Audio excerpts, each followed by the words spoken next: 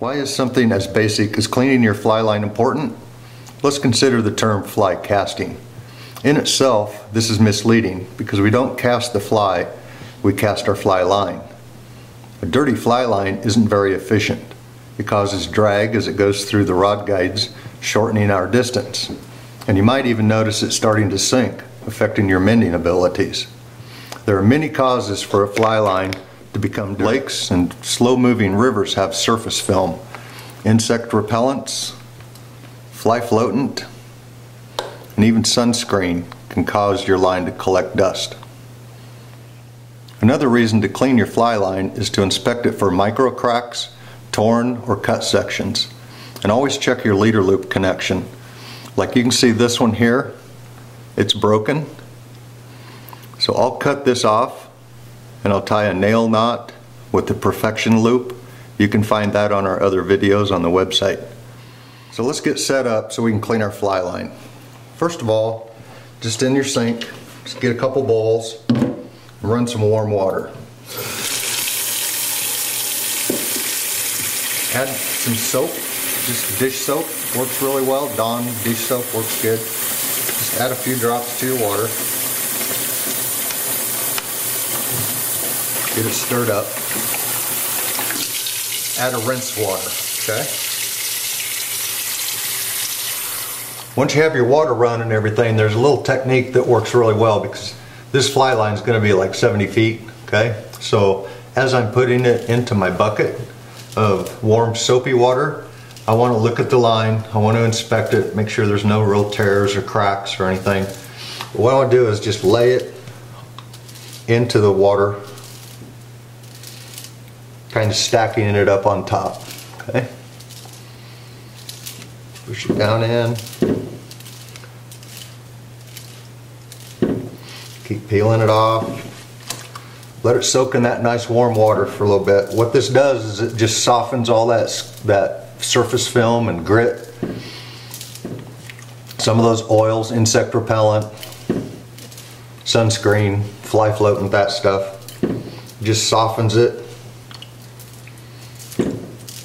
ready for removal. But you get your fly line in, set your reel off to the side, grab you a sponge, just put on the inside like such. I like to flip it over because I'm right to left and pull off the top. Okay. What I mean by off the top is that our stacked line here is on top. So as I pull, it comes off. Now I'm laying this over into the rinse water. Just run it through. Again, just feeling the line every now and then. Make sure that you don't feel any cuts or nicks. I can see that I've come up to my leader loop, okay? This is another trick part. So I want to hang on to my leader loop. You can dump your rinse or your soapy water. Get that out of the way grab your towel. Now we're just going to dry the line off. Again, I just want to look and just kind of do a little inspection. But as I'm drying it off, I want to put it down in, keep it out of the wet water. Just stack it over next to your, your counter here. The reason I hung on to the leader loop though is because now I'm pulling it off of the top of our pile. We're getting it all dried off here. Now we're ready to take our fly line and what I'd like to do is put a cleaner on it. This is a nice cleaner made by Loon. It comes in a two-part system. This is our cleaner. And then it comes with a conditioner, a line speed conditioner. So I'm going to apply this cleaner onto a little pad. And I like to have a nice little clean pad here. Just take and put a dollop on there. Grab your fly line and the dollop. Fold over. And again, pull the line just like we did with our rinse water, but stack it on top of each other. Try to make nice little loops there. We're just pulling this through. we've put our cleaner on. Want to take another towel, run it through again, just to kind of get some of the cleaner off. You can hear the cleanness of it now because it'll start to squeak on you.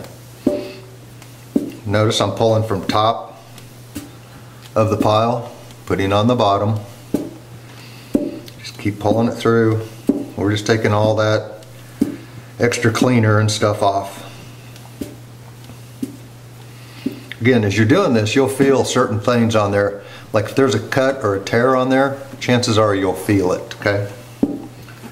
Now what I want to do is take the second part of our product, our line cleaner, and I want to grab another towel, little pad.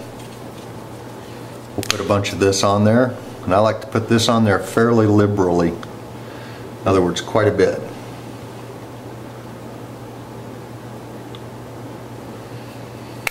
Because the second part of this is kind of like car wax. You want to put it on your line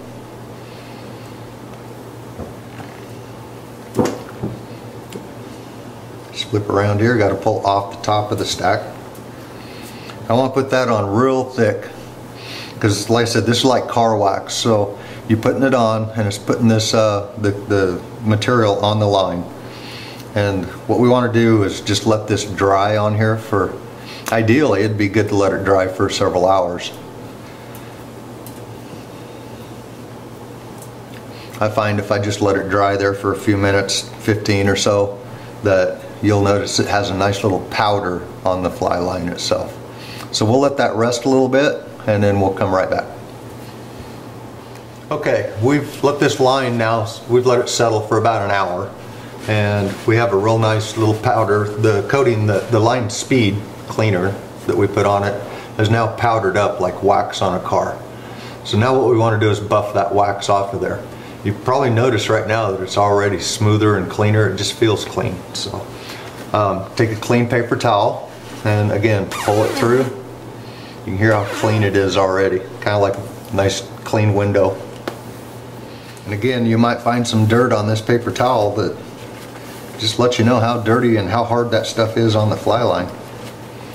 So even after we've cleaned it, put our conditioner and our buff on it, we still have dirt and stuff. So anyway, that's pretty much all that there is to it.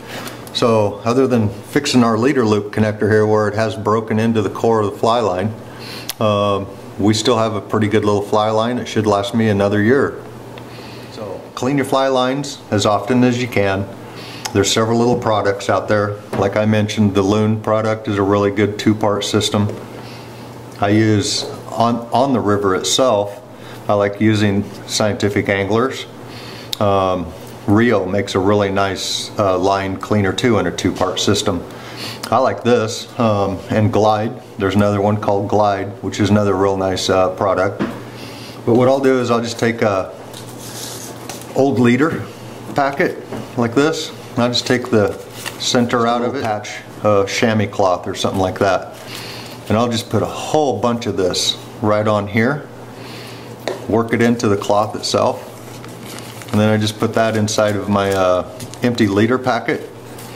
And then I'll put that in my fly vest. So when I'm on the river or something like that, if I notice that the line's just kind of feeling dirty or gritty or I can hear it go through the fly guides, then I'll just pull this out, run it through there real quick. Um, then I can get back to fishing. My line floats on the surface real nice like I like it. So hope this has helped. Let us know.